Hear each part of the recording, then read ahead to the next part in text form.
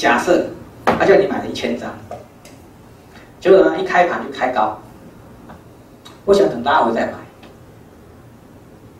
啊，好，假设我先买，那我就先买。假设我先买，先买个两百张，然后拉回再来买，就砰锁起来，靠腰，买不到了。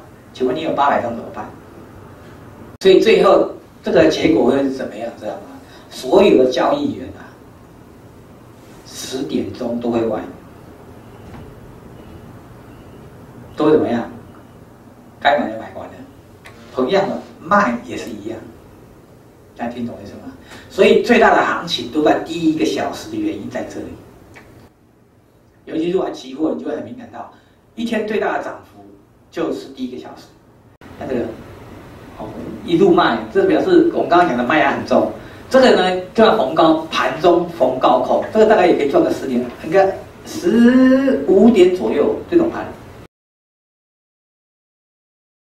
这就是我们刚刚的图，就是卖压最大。那现在就是卖压一直缩小？可是你不晓得转折点在哪里？